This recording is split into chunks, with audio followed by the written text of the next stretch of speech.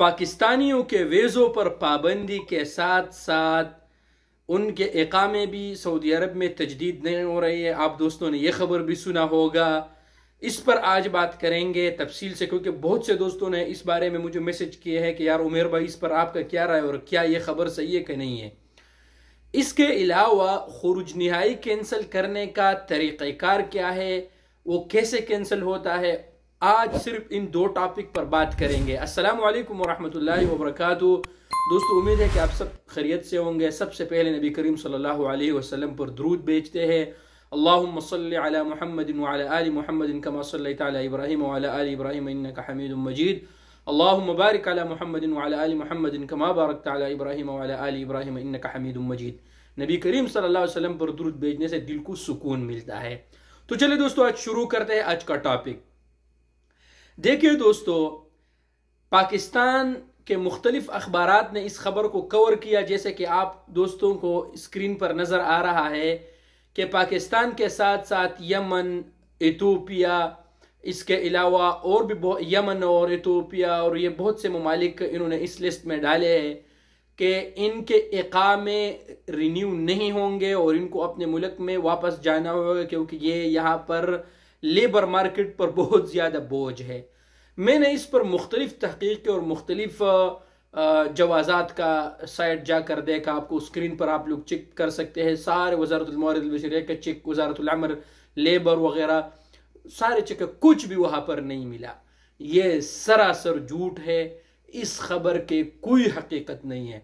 मैं आप दोस्तों को ये बताता हूँ कि पाकिस्तान का जो प्रिंट और इलेक्ट्रॉनिक मीडिया इन पर आप लोग सरे से यकीन मत करें। अगर वो सऊदी अरब के हवाले से कोई भी बात करे तो वो लेबर वगैरह के, कवानीन के हवाले से तो ये कितने बड़ा झूठ इन लोगों ने बोला है। तो ये बिल्कुल सरासर झूठ है। इस खबर के कोई हकीकत नहीं है। यहाँ पर आप लोगों को पता है कि यहाँ पर बड़े बड़े बिजनेसमैन यहाँ पर पाकिस्तानी, यमनी वगैरह यहाँ पर काम करते कोई कोई मतलब उनको फ़ायदा मिल रहा है। एकदम उनके इकामे रिन्यू नहीं होंगे और वेजे उनके नहीं लगे। जो वेजो में मसले इशू चल रहा है, वो कुछ सिस्टम अपडेट हो रहा है। वेजा न लगने के जो वजूहत है, वो तमाम कंट्रियों के लिए है। कोई मसला है सिस्टम अपडेट हो रहा है, वो एक दिन में, एक दो दिन में वो मसला हल हो जाएगा। ऐसी बात नहीं है कि इकाम रिन्यू नहीं होंगे और ये सब झूठ है। इन तरह की खबरों पर आप लोग बिल्कुल यकीन मत करें। तो ये खबर तो ये बात तो ख़त्म हो, आते हैं अपने दूसरे टॉपिक की तरफ़। यह तक अगर आप दोस्तों ने मेरे यूट्यूब चैनल को सब्सक्राइब नहीं किया तो यूट्यूब चैनल को ज़रूर सब्सक्राइब कर ले। और अगर आप दोस्तों कोई सवाल है तो कमेंट सेक्शन में ज़रूर जो है ना वो आप लिख दीजिएगा। अब बात है खुरुज नहाई की तरफ़। देखिए दोस्तों, अगर कफील या कंपनी ने आपका खुरुज नहाई लगाया और आप उस खुरुज नहाई को कैंसिल करते हैं तो उसका तरीक़ाकार क्या है? सबसे पहली बात तो यह है कि आप उस खुरुज नहाई को कफील के बगैर या कंपनी के इजाज़त के बगैर कैंसिल नहीं कर सकते। अगर आप वो कैंसिल करते हैं तो या तो वो खुद कैंसिल करेगा या आपको वकाल देगा। उसमें सब कुछ उसका तस्दीक और सब कुछ होगा। अब कैंसिल करने के लिए तरीक़ाकार क्या है?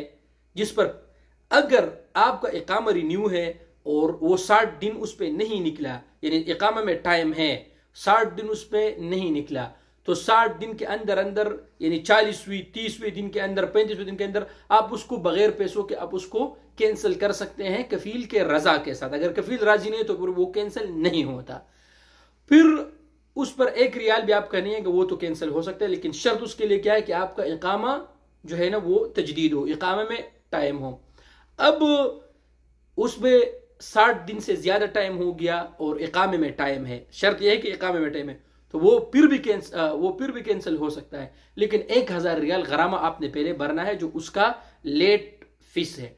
वो एक हज़ार रियाल गरामा पहले आप देंगे, इकामा में टाइम हो तो वो कैंसिल हो सकता है। अगर इकाम में टाइम नहीं हो तो उसके लिए फिर वो कैंसिल नहीं होगा। सबसे पहले आपने इकामा तजदीद करना है।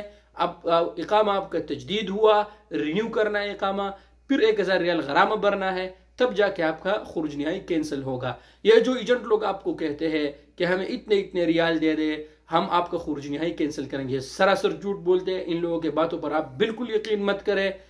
आपसे पैसे लेंगे और आपके पैसे खाएँगे तो कफील के इजाज़त के बगैर खुरुज नहाई कैंसिल नहीं हो सकता। आप दोस्तों को दोनों और तीनों तरीके, आप दोस्तों को बताया कि किस तरह कैंसिल कर सकते हैं। गरामा कब होता है, गरामा कब नहीं होता है। उम्मीद है कि आप दोस्तों को ये पूरा बात समझ आ गया होगा। तो आज का ये दो टॉपिक था जो आप दोस्तों के साथ मैंने शेयर किया। उम्मीद है कि आप दोस्तों को मेरा वीडियो पसंद आया होगा। वीडियो पसंद आया तो यूट्यूब चैनल को ज़रूर सब्सक्राइब कर ले और वीडियो को लाइक करें और ज़रूर दोस्तों के साथ शेयर कीजिएगा। शुक्रिया।